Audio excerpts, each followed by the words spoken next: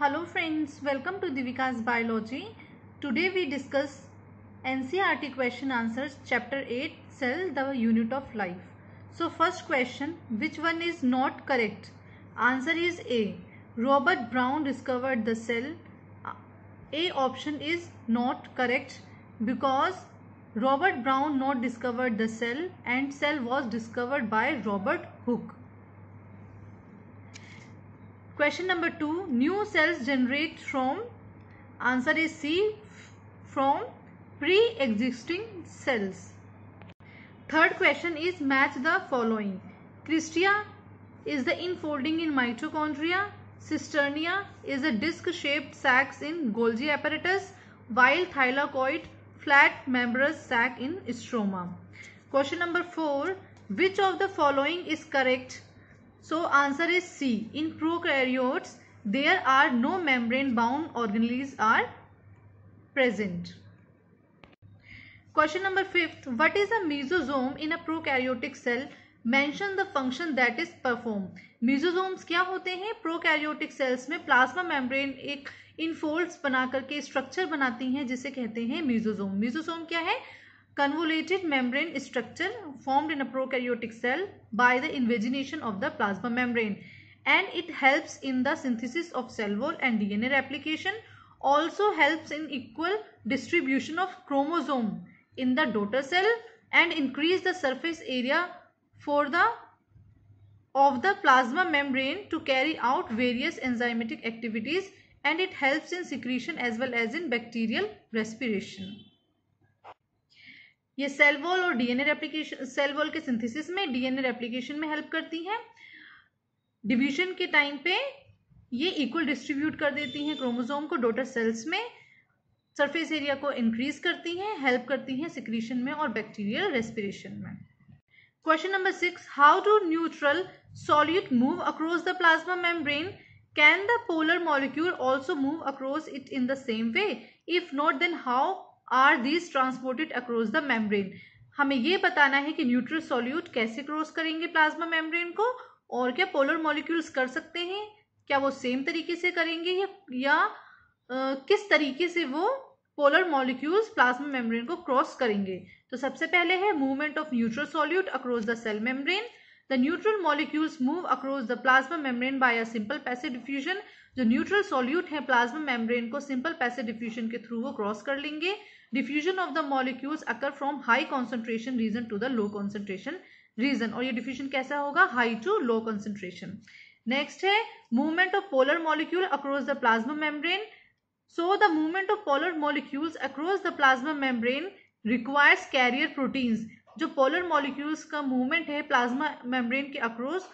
वो रिक्वायर करती हैं कैरियर प्रोटीन्स को carrier proteins are integral proteins and they facilitate the transport of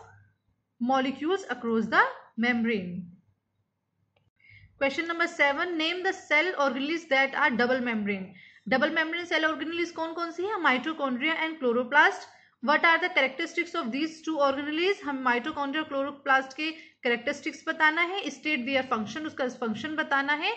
and then draw the label diagram of both so the double membrane bound organelles is mitochondria and chloroplast सबसे पहले है characteristics of mitochondria mitochondria double membrane structure है double membrane कैसे इसमें divide है inner membrane और outer membrane में outer membrane porous है वाइल इनर मेम्ब्रेन क्या है डीपली फोल्डेड है these fold known as cristae and cristae increase the surface area inside the cell mitochondria mitochondria are the site generation and aerobic respiration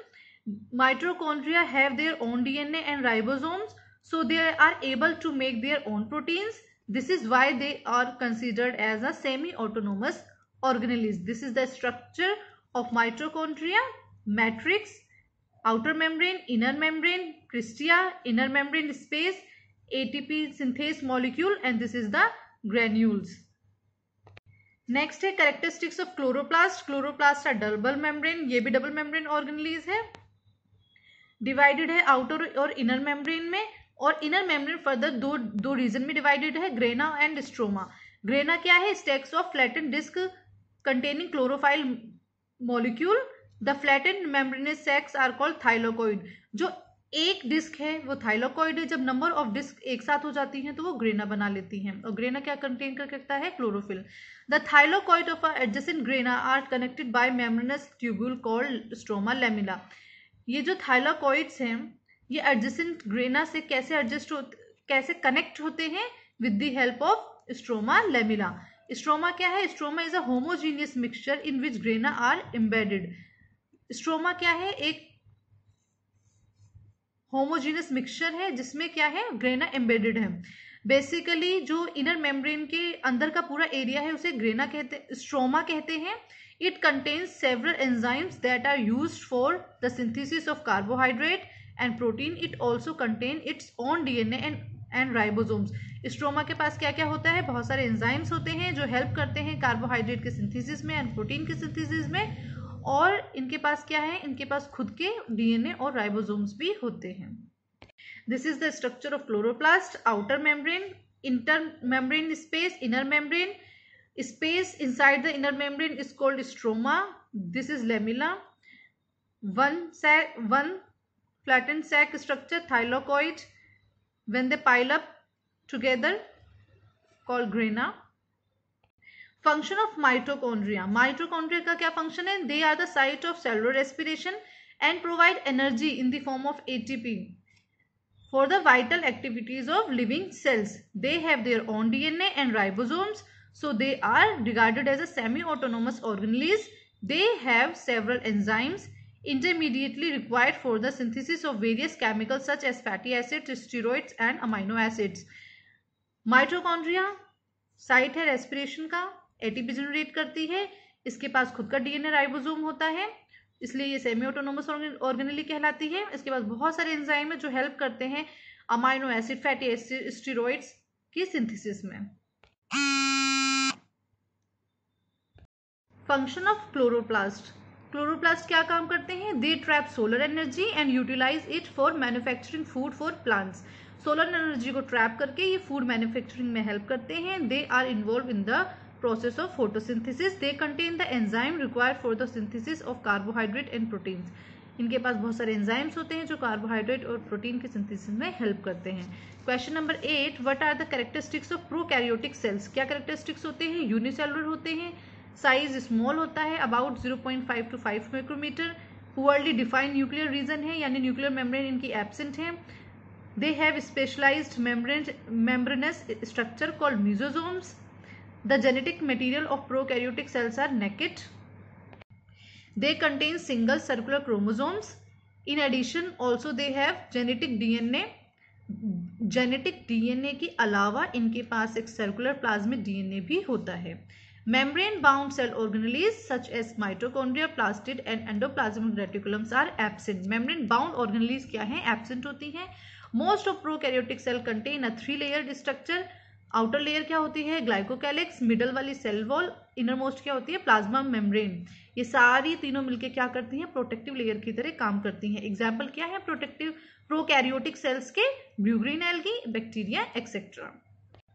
question number nine multicellular organism have division of labour हमें ये बताना है कि multicellular organism में जो labour हैं वो divided हैं कि ये वाली सेल ये काम करेगी ये वाली सेल ये वाले काम करेगी तो multicellular organism are made up of millions and trillions of cells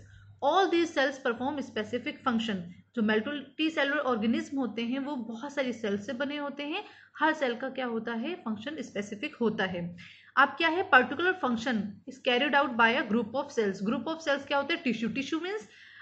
similar cells perform a similar function तो एक particular function is carried out by a group of cells जिसे हम टिश्यू कहते हैं at a definite place of the body similarly different functions are carried out by different group of cells in an organism ठीक वैसे ही जो different function है वो different group of cells perform करेंगी this is known as division of labour in a multicellular organism इसी को हम कहते हैं कि मल्टी सेलर ऑर्गेनिज्म में जो लेबर है जो काम है वो डिवाइडेड है सेल्स के बीच में question number ten cell is the basic unit of life discuss in brief cell क्या है बेसिक यूनिट ऑफ लाइफ है इसे हमें ब्रीफली डिस्कस करना है cell are the basic unit of life capable of doing all the required biochemical process that are normal cell has to do in order to live cells के पास cell क्या है basic unit of life है ये capable है हर वो biochemical process को करने के लिए जो जरूरी होता है एक लिविंग सेल को जिंदा रहने के लिए या एक लिविंग सेल को काम करने के लिए द बे The basic needs for the survival of all organism are the same. जो basic need है सभी living organism की वो same है all living all living organism need to respire digest for food obtaining energy and get rid of metabolic waste सभी organism क्या करते हैं रिस्पायर करते हैं सांस लेते हैं और फूड को डाइजेशन के लिए उनको एनर्जी चाहिए होती है and also they get rid of a metabolic waste cells are capable of performing all the metabolic functions of the body और सेल क्या होती है ये कैपेबल होती है ये सारे ही फंक्शंस को करने के लिए इसीलिए हम कहते हैं कि सेल क्या है functional unit of life question number eleven what are the nuclear pore nuclear pore क्या है स्टेट दियर फंक्शन तो न्यूक्लियर पोर क्या है टाइनी होल्स हैं जो प्रेजेंट होते हैं न्यूक्लियर मेम्ब्रेन के ऊपर न्यूक्लियर मेम्ब्रेन किसकी न्यूक्लियस की न्यूक्लियर मेम्ब्रेन के ऊपर एक न्यूक्लियर होल होल होता है जिसे न्यूक्लियर पोर्स कहते हैं they are formed by the fusion of two nuclear membrane ये कैसे बनते हैं जब दो न्यूक्लियर मेम्ब्रेन आपस में फ्यूज करती हैं these hole allow specific substance to be transferred in a cell and out from it ये स्पेसिफिक होल अलाउ करते हैं कि न्यूक्लियस के अंदर से कोई स्पेसिफिक चीज सब्सटेंस सेल के अंदर जाएगा या वो बाहर आएगा they allow molecule such as R N and protein to move in both direction between the nucleus and the cytoplasm ये क्या करते हैं आर एन ए और प्रोटीन की मूवमेंट को अलाउ करते हैं न्यूक्लियस और साइटोप्लाज्म के बीच में इन बोथ द डायरेक्शन या तो वो न्यूक्लियस के अंदर भी आने देते हैं और साइटोप्लाज्म में भी जाने देते हैं Question number 12. Both lysosome and vacuoles are endomembrane structure yet they differ in term of their function. Lysosome और वैक्यूल दोनों ही एंडोमेम्ब्रेन स्ट्रक्चर है बट देयर फंक्शंस डिफरेंट हैं हमें ये बताना है तो लाइजोजोम्स क्या है मेम्ब्रेन बाउंड वेस्कुलर स्ट्रक्चर है जो होल्ड करते हैं बहुत सारे एंजाइम्स को such as lipases proteases and carbohydrases lipases mean जो लिपिड को तोड़ते हैं प्रोटीएसिस जो प्रोटीन का ब्रेकडाउन करते हैं कार्बोहाइड्रेट्स जो शुगर और कार्बोहाइड्रेट का ब्रेकडाउन करते हैं जब किसी एंजाइम के नाम के पीछे एजेस लगा होता है इसका मतलब ये होता है कि वो एंजाइम ब्रेकडाउन का काम कर रहा है यानी वो तोड़ रहा है the purpose of lysosome is to digest worn out cells they are involve in the intracellular digestion of foreign body particle and microbes lysosome के पास जो एंजाइम्स होते हैं वो क्या करते हैं जितनी भी सेल्स खराब हुई होती हैं या कोई फॉरन पार्टिकल बॉडी के अंदर आ जाता है या माइक्रोब्स आता है उन सबको ये डाइजेस्ट कर लेते हैं sometimes they also act as a suicidal bag इसीलिए लाइजोजोम्स को क्या कहा जाता है सुसाइडल बैग्स कहते हैं they are involve in the self lysation of the cells they are a kind of waste disposal system of a cell on the other hand जबकि दूसरी तरफ जो वैक्यूल होता है वो storage sac found in a cell वो storage की तरह काम करता है they might store the waste product of the cells ये क्या करता है वेस्ट प्रोडक्ट को स्टोर करता है vacuole in unicellular organism the food vacuole contain the consume food particles unicellular organism के अंदर जो फूड वैक्यूल होते हैं वो क्या कंटेन करके रखते हैं जो फूड पार्टिकल्स वो ऑर्गेनिज्म कंज्यूम करता है जैसे ह्यूमंस के अंदर जो हम खाना खाते हैं वो कौन स्टोर करता है स्टमक ठीक ऐसे ही ये फूड वैक्यूल खाने को स्टोर करता है it also play a role in expelling excess water and some waste from the cell और ये दूसरा काम क्या करता है एक्सेस वाटर को रिमूव करने में हेल्प करता है और वेस्ट को, को सेल से रिमूव करने में हमारी हेल्प करता है हमारी नहीं in the unicellular organism question number thirteen describe the structure of the following with the help of label diagram हमें न्यूक्लियस और सेंट्रोसोम के स्ट्रक्चर बताना है with the help of diagram तो न्यूक्लियस क्या है nucleus control all the cellular activities of the cell and it is spherical in shape nucleus spherical होता है शेप में और कंट्रोल करता है सारी सेलुलर एक्टिविटीज को अब जो न्यूक्लियस का स्ट्रक्चर है वो दो में डिवाइडेड है पहला न्यूक्लियर मेम्ब्रेन न्यूक्लियर मेम्ब्रेन क्या है डबल मेम्ब्रेन है जो सेपरेट करती है न्यूक्लियस को साइटोप्लाज्म से और इनर और आउटर मेम्ब्रेन के बीच का जो स्पेस है उसे कहते हैं perinuclear space nuclear membrane has tiny holes जिसे कहते हैं nuclear pore these holes allow specific substance to be transferred into a cell and out from it nuclear membrane पे पोर प्रेजेंट होता है जिसे न्यूक्लियर पोर्स कहते हैं और ये अलाउ करते हैं स्पेसिफिक सब्सटेंस की मूवमेंट को जो नेक्स्ट पार्ट है न्यूक्लियस का वो है न्यूक्लियोप्लाज्म और न्यूक्लियर मैट्रिक्स ये क्या है होमोजीनियस ग्रेलुलर फ्लूड है जो प्रेजेंट होता है न्यूक्लियस के अंदर न्यूक्लियस के अंदर का जो फ्लूड इंटीरियर है उसे कहते हैं न्यूक्लियोप्लाज्म ये क्या कंटेन करके रखता है क्रोमेटिन और न्यूक्लियोलस न्यूक्लियस होता है न्यूक्लियस के अंदर न्यूक्लियोलस होता है न्यूक्लियोलस के पास क्रोमेटिन होता है क्रोमेटिन डीएनए और प्रोटीन को स्टोर करता है nucleolus is a spherical structure that is not bound by any membrane और न्यूक्लियो न्यूक्लियोलस क्या है किसी भी मेम्ब्रेन से बाउंड नहीं होता है it is rich in protein and RNA molecule and it is a site of ribosome formation chromosome is an elongated mass of thread like structure chromatin sorry chromatin क्या है एक मास है thread like structure का जो contain करता है DNA को और प्रोटीन को स्पेसिफिक वो जो प्रोटीन कंटेन करता है क्रोमेटिन उसको कहते हैं histone this is the structure of nucleus nucleolus chromosome, nucleoplasm nuclear membrane and the nuclear pore structure this is a structure of nucleus. अब है सेंट्रोसोम सेंट्रोसोम क्या है centrosome consist of a two cylindrical structure called centriole centrosome दो centriole से बना होता है और ये सेंट्रियोल कैसे प्रेजेंट होते हैं परपेंडिकुलर होते हैं एक दूसरे के each has cartwheel like organization और ईच सेंट्रियोल की कैसी ऑर्गेनाइजेशन है cartwheel like -like organization. Centriole is made up of microtubule triplet that are evenly spaced in a ring जो सेंट्रियोल्स होता है वो माइक्रोट्यूब ट्रिपलेट से बना होता है जो इवनली प्लेस होता है रिंग में adjacent triplets are linked together और ये जो ट्रिपलेट होते हैं वो आपस में लिंक होते हैं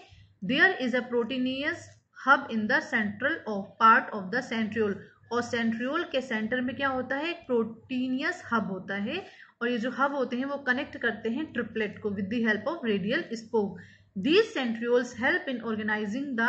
spindle fibre and astral rays during the cell division. ये सेंट्रियोल्स हेल्प करते हैं स्पिंडल फाइबर की फॉर्मेशन में और एस्ट्रल रे की फॉर्मेशन में सेल डिवीजन के दौरान they form the basal body of cilia and flagella और क्या बनाते हैं सीलिया और flagella this is the structure of centrosome sorry this is the structure of centrosome which contain the two centriole placing perpendicular to each other question number 14 and this is the last question of this exercise what is the centromere how does the position of centromere from the basis of classification of chromosome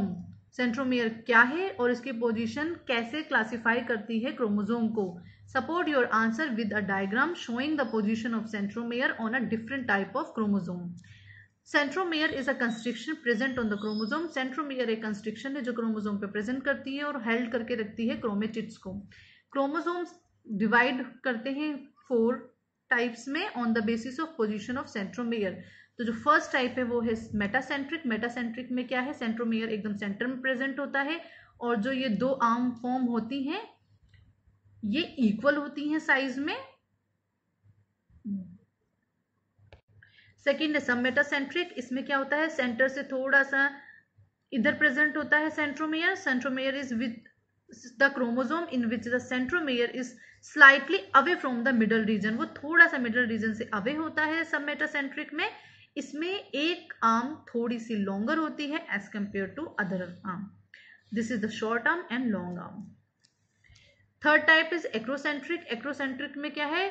this is the chromosome in which centromere is located close to one of the terminal end वो terminal end के close present होता है and known as the acrocentric chromosome in this one arm is extremely long and other is extremely short short arm long arm this is the chromosome and the structure of acrocentric chromosome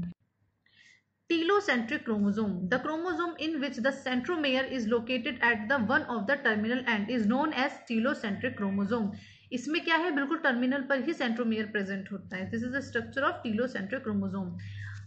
exercise is completed thank you thank you for watching this video if you like any part of my video then please like and subscribe my channel thank you thank you for watching this video